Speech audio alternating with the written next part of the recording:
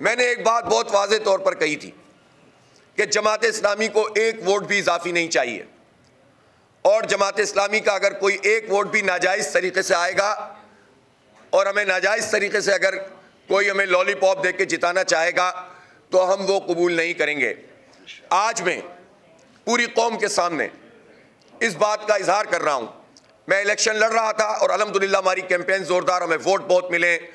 हमें दोनों एन की सीटों के ऊपर पचास पचास हज़ार के करीब वोट मिले अलहमदिल्ला लेकिन हमें मालूम है कि जो वेव थी इमरान खान के हवाले से, उसने असर किया। हमारा नेरेटिव सेल हुआ। हमें बल्दियाती इंतखब से ज़्यादा लोगों ने वोट दिए। कराची के लिए आज भी निजात दहिंदा जमात इस्लामी को लोग समझते हैं, लेकिन एक नेशनल फ़िज़ा में पी टी आई को भी ज़्यादा वोट मिले। और हम इसको कबूल करते हैं। हम उनके मैंडेट को कबूल करते हैं। वो अगर हमसे जीते हैं और जेनवन जीते हैं, हमारा दिल इतना वसी है कि हम उसको मानते हैं, तस्लीम करते हैं? एम क्यू एम भी अगर जायज़ तरीके से जीते हैं तो सारे इख्तलाफ के बावजूद हम उसको कबूल करेंगे। लेकिन वो तो अब जीतने की पोजीशन में ही नहीं। जीतने क्या? कंटेस्ट करने की पोजीशन नहीं, में नहीं है इस शहर में। लोगों ने उनका जो हशर किया है। कौंसलर नहीं जीत सकती M Q M polling station पाँच हज़ार चार सौ में से मेरा नहीं ख्याल कि कोई एक पोलिंग स्टेशन भी वो जीते। बूथ का भी यही हाल होगा। इस पर लाकर उनको पंद्रह सीटें शहर से दे दी, दो हैदराबाद से दे दी। पच्चीस एम पी ए दे दिए ज़बरदस्ती मुसलत पीपी और एम क्यू एम की बंदर बांट करके सात सीटें पीपी को दे दो। पंद्रह जो है वो एम क्यू एम को दे दो। ये शहर है कि क्या है? किसी का दस्तरखान है कि शहर के आवाम की तोहिन करो। तो अगर पीटीआई के लोग जीते हैं तो हम इसको कबूल करते हैं। हमने एक सीट जीती है जेनवन थी हमने उसको बिल्कुल जेनवन रिज़ल्ट 45 था, उसके मुताबिक सैंतालीस फॉर्म लिया, शुरू में ही ले लिया। अलहमदिल्ला बचत हो गई और मोहम्मद फारूक, जो फरहान खान के नाम से जाने जाते हैं, वो पी एस नाइन्टी वन में अलहमदिल्ला कामयाब हो गए।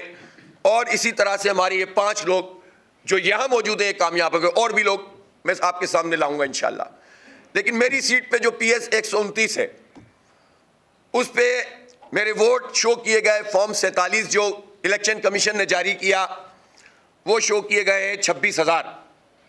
जबकि एक्चुअली मुझे तीस हज़ार चार सौ चौंसठ वोट मिले हैं। लेकिन मुझसे ज़्यादा वोट आज़ाद उम्मीदवार जो पीटीआई के हैं, उनको मिले हैं। और मैं इतना ज़र्फ रखता हूँ कि मैं इस बात का ऐलान करता हूँ कि पीटीआई वहाँ पर उसका हिमायत याफ्ता आज़ाद कैंडिडेट जीता है और मैं इस सीट को अवेल नहीं करूँगा। मैं इस सीट को अवेल नहीं करूँगा। मैंने कौम से वादा किया था, मेरी जमात ने वादा किया था कि हम एक वोट भी इजाफी नहीं चाहते। हमें किसी लॉलीपॉप की ज़रूरत नहीं है। और हम एक वोट भी अपना किसी को देने के लिए तैयार नहीं है। हमें वो लोगों ने वोट डाले हैं, लोगों ने हमारे आईडीए को लिया है। शहर कराची जमात इस्लामी के साथ है, शहर कराची मेरे मेरी टीम के साथ है।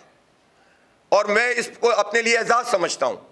लेकिन अगर एक नेशनल वेव में लोगों ने किसी को भी वोट दिया है तो हम उसका एहतराम करते हैं और मेरी ये सीट, ये इलेक्शन कमीशन के मुँह पर एक तमाचा भी है। हमें नहीं चाहिए खैरात की ये सीट, हमें हमारा हक दो जो जीते हैं उनको जिताओ, जो हारे हैं उनको हराओ।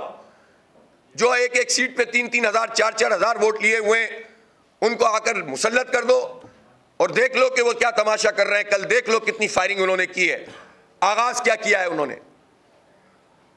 ये चाहते हैं इस शहर के साथ तबाह हाल शहर को मजीद तबाह करना चाहते हैं, बर्बाद करना चाहते हैं। तो ये मैंने और मुझे मैं शुक्रगुजार हूँ अपनी टीम का कि जब मुझे अंदाज़ा हुआ कि कुछ उन्नीस बीस है, चंद सौ वोटों का या थोड़ा फ़र्क है तो मैंने अपनी टीम से कहा कि मुझे एक एक फॉर्म चाहिए।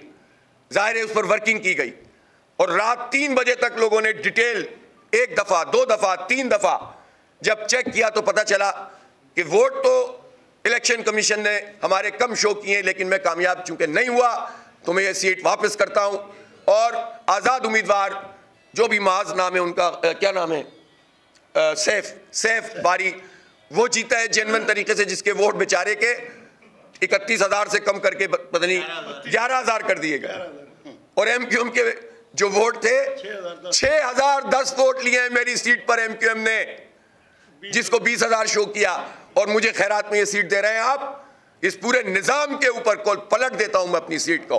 और पूरे पाकिस्तान के लिए मिसाल है ये, कि बाज अमीर लोग सामने आए। मैं एम क्यू एम के भी उन लोगों से कहता हूँ, अगर अल्लाह ताला ने उनको हिदायत दी और उनके अंदर कोई ज़मीर जागता है तो वह आए सामने कौम के।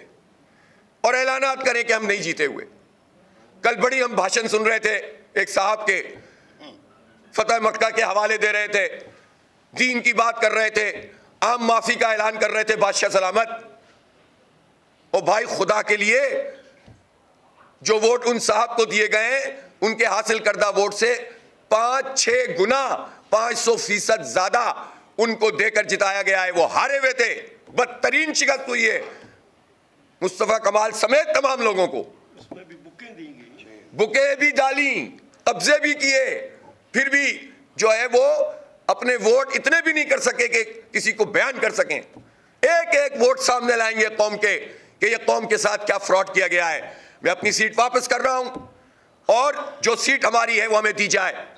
जिस पर हम जीते हैं, वो हम चैलेंज करेंगे। जिस पर हम हारे, उसको क्लेम नहीं करेंगे कि हम जीते हैं। वर्किंग हमारी मुकम्मल होती है, हम सामने लाते जाएँगे। अच्छी खासी हो भी गई है। और जो लोग भी जीते हैं चाहे हमारे बदतरीन मुखालिफ क्यों ना हो। हम उसके लिए कहेंगे कि जो जीता है उसको जीतने दो, जो हारा है उसको हारने दो। ये क्या फ्रॉड पूरे कौम के साथ किया जा रहा है? इलेक्शन के नाम पर अड़तीस अरब रुपए जाया करके कौम के आपको अगर हाथ से लिखे हुए रिज़ल्ट देने थे तो ये तमाशा करने की क्या ज़रूरत है? वो शर्म नहीं आती नून लीग को, नवाज़ शरीफ को, और बिलावल और जरदारी को, और एम वालों को तो मैं क्या कहूँ? जानते ही हम उनको तो बहुत ही उनको भी जानते हैं, इनको भी जानते हैं। शर्म नहीं आती। इस जाली मैंडेट के साथ ये अपनी स्पीचेस कर रहे हैं। पूरी कौम पर मुसलत हो रहे हैं। डूब मरना चाहिए इन लोगों को और फिक्स करना चाहिए कि ये क्या लोग हैं और ये वो लोग हैं। हम स्टेब्लिशमेंट से शिकवा करते हैं ना। स्टेब्लिशमेंट की गोद में जाकर बैठता कौन है? उनके गमलों में परवरिश कौन पाता है? उनसे खैरात और भीख कौन माँगता है? जिसके नतीजे में आज हमारे ये हालात हो गए। हमें नहीं चाहिए खैरात की एक सीट, हमें हमारा हक चाहिए। हम जो जीते हैं, जीतने दो जो हारे हैं, हम कबूल करते हैं। और हमें मालूम है कि इस शहर में हम कराची शहर जमात इस्लामी के साथ उसका दिल धड़कता है। दुनिया के नज़दीक मेरा ये फैसला और मेरी टीम का ये फैसला बहुत ख़राब फैसला हो सकता है कि हाफिज साहब, एक आवाज़ थी आप मेरा एक आदमी भी वहाँ पर मौजूद होगा इन जमात इस्लामी का वो अपना हक अदा करेगा। और अगर इन्होंने हमें उड़ा भी दिया है तो इन अवाम के दिलों से तो नहीं निकाल सकते तुम हमें।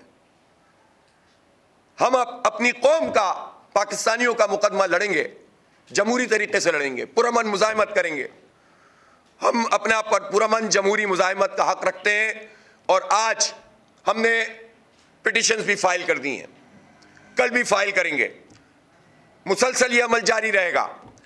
और हम कानूनी जंग भी लड़ेंगे, सियासी जंग भी लड़ेंगे। कौम को सब पता है, अब सोशल मीडिया के इस ज़माने में ये जाली मैंडेट आप ज़बरदस्ती मुसलत करके लोगों के जहन नहीं बदल सकते। मैं ये मुतालबा करता हूँ कि कराची के इन तमाम नतज को कलदम किया जाए और फॉर्म पैंतालीस के मुताबिक ये पूरा का पूरा इलेक्शन होना चाहिए। मेरा यह मुतालबा चीफ इलेक्शन कमिश्नर से भी है और मेरा यह मुतालबा चीफ जस्टिस ऑफ़ पाकिस्तान से भी है। जस्टिस फाइजा साहब, कहाँ जाएँ लोग? जब इलेक्शन कमीशन एक खिलौना बना हुआ हो, जब इलेक्शन कमीशन लिखे हुए रिज़ल्ट बता रहा हो, जब आवाम के राय पर शबखून मारा जा रहा हो।